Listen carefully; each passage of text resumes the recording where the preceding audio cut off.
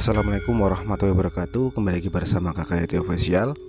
Nah kali ini saya membagi pengalaman yang tidak mengenakan ya.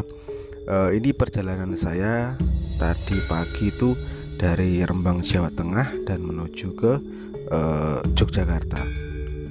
Dan saya berangkat dari Rembang melewati kota Semarang dan juga kota Solo e, Dan pulangnya melewati kota e, Solo terus Ngawi, terus Bojonegoro, Cepu, Blora. Jika dulur-dulur itu lelah ataupun ngantuk, istirahatlah, jangan dipaksa untuk berjalan.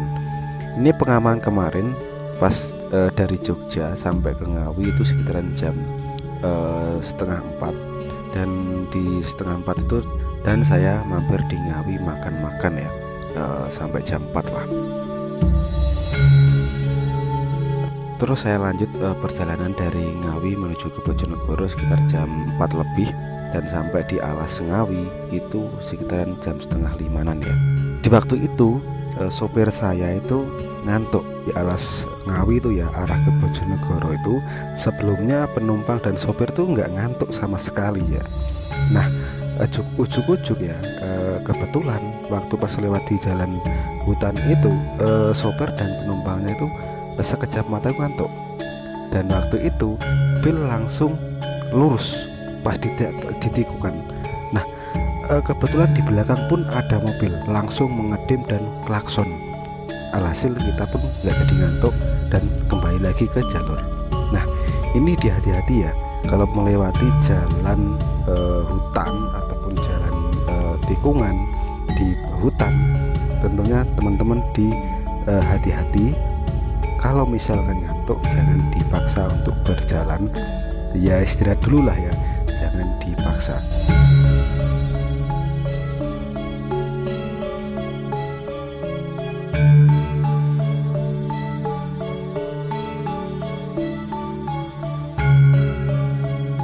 Dan di sini bukan berbicara tentang mistik ya. Ya namanya uh, kita hidup di Indonesia di Pulau Jawa mistik adalah tapi paling enggak kita harus memperhatikan uh, kesehatan kita ataupun uh, jangan sampai kita ngantuk ya. Kalaupun ngantuk jangan dipaksa untuk berjalan. Istirahat dulu sebentar uh, jangan dipaksa untuk berjalan biar nanti tidak terjadi yang tidak tidak.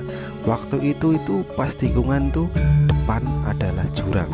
Nggak tahu jurangnya itu dalam atau uh, enggak ya kayaknya itu jurang.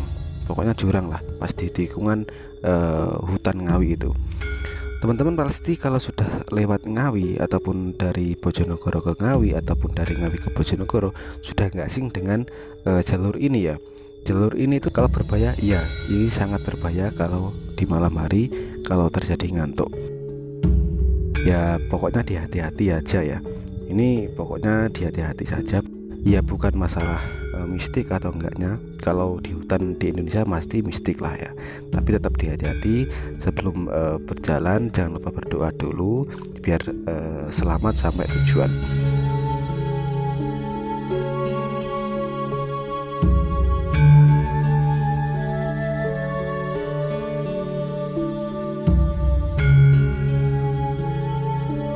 waktu itu pas lewat uh, jalur ini itu sekitar jam uh, setengah limanan hampir jam lima. Itu fajar ya. Jadi uh, kelihatan sudah uh, di sebelah timur itu sudah terang. Jadi uh, kelihatan fajar.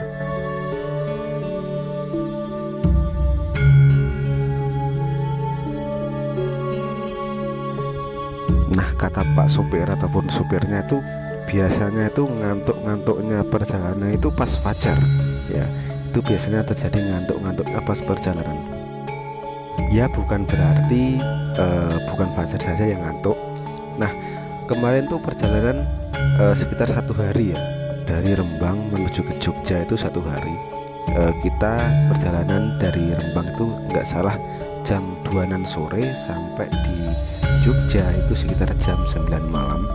Terus eh, jam 11 malam kita lanjut perjalanan dari Jogja menuju ke Rembang. Dan sampai ke Ngawi itu sekitaran jam eh, setengah empatan atau jam 3 lebih lah. Nah tip untuk tuturku semuanya sebelum berangkat pastikan berdoa dulu uh, agar selamat sampai tujuan. Dan jangan lupa menjaga kesehatan uh, mungkin kalau ngantuk istirahat dulu sebentar sebelum melanjut ke perjalanan yang dituju.